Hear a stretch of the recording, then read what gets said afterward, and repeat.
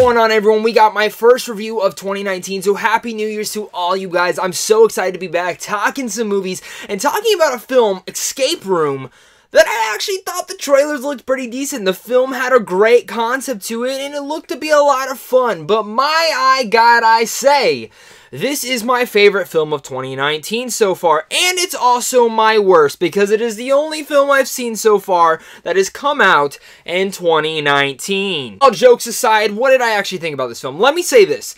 This film is the equivalent of when you're about to have sex with a beautiful woman and you're getting there, you're right about to do it, and she's just like, oh, oh, my parents are home, I can't do it really what this equivalent of the film is. Because for a majority of this film, I was actually about to give this film like a solid B. It is an entertaining actual film that actually had me kind of on the edge of my seat. And I have to give direction, like props to the director for getting me on the edge of my seat and actually having me anticipating and wondering who's going to die, at least for the first couple scenes within the movie.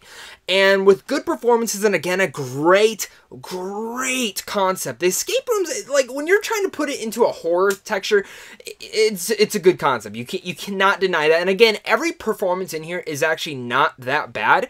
Everyone does a decent enough job. No one was annoying or overly abundantly annoying. And the film in general actually isn't as predictable with the characters and where you think their twist might go. Some of their stories are a little bit, but overall, when it comes to the character motivations and where their backgrounds go, because you expect some sinister things, and really, there's not that many sinister things. They really are just people, and when you find out why they're in the room, it actually wasn't like the most jaw dropping thing, but it was like, oh, okay.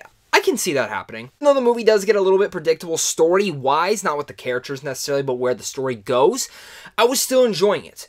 But again, like I said with that metaphor, I guess as you can call it, or allegory, whatever you want to say to it, the film itself just felt like it stopped trying.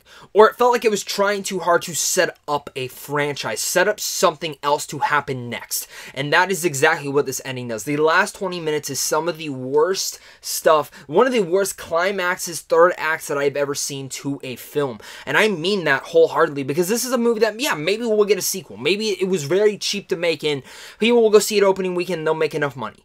But that's not guaranteed in this world, and it just felt like the film was setting up to make this awesome next sequel. Pulled me so far out of the movie by the end, I was like, what are we doing now? This isn't what we were going through. This isn't what the film was. It got so huge, like the content and the idea and the world building idea just shot out and like became over unrealistic to me, where it's the point where I was like, Am I watching like a spy film now? They even make a Jason Bourne reference by the end of this movie. No, I'm really rapping and ranting on this film, but really, again, the first two acts, the first act and a half at least is like a solid B. Entertaining fun, some cheesy moments here and there, but you're still entertained. You're still kind of on the edge of your seat wondering what's going to happen. And even though it did get a little bit repetitive in the rooms, find this key, get the door open. Find this key, get the door open. Find this key, get the door open. It kept going in that same route and it kind of just got overly long doing that, but still, I was forgiving about it. Even though then I was like, okay, so the characters they really focus on are the ones that are gonna end up living to a certain extent. Okay, I can understand.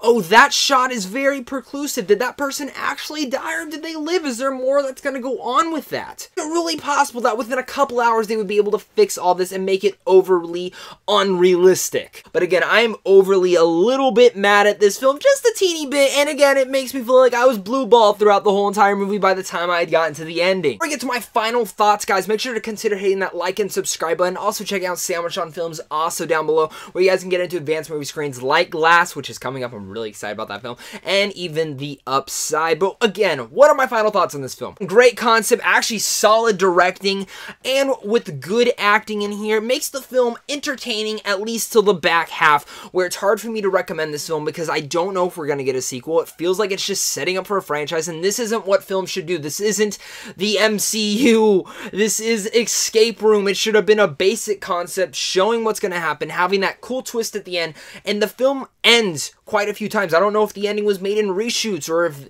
because of good positive buzz or whatnot. I have no idea what happened with the ending. There were multiple times where this film could have ended. I would have been felt satisfied and I would have walked out saying, hey, that was a nice, fun film.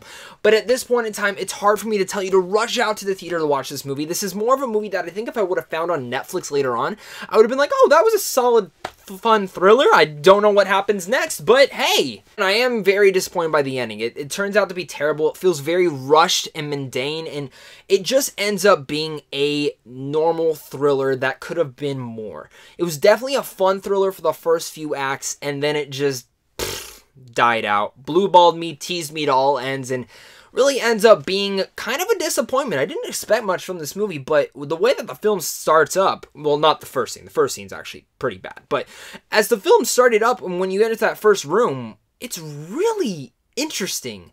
And the cinematography in the world and the set design was great, but just puttered off. And again, feels like when you're at a girl's house and she's like, oh, my parents are home, I gotta go. Great concept, good acting, but again, I felt blue balled throughout the whole entire thing. So with all that said, I'm gonna give Escape Room a C minus know what your guys' thoughts are on Escape Room down below in the comments. I'm curious to hear your guys' thoughts on this one. If you guys liked it more than me, were you not pissed off about the ending? Maybe you were. I can't wait to talk with you guys about Escape Room. Let's discuss it down below. And guys, of course, until next time, make sure to that like and subscribe button. Check out Sandwich John Films, and I'll see you guys soon. Stay classy. Thank you.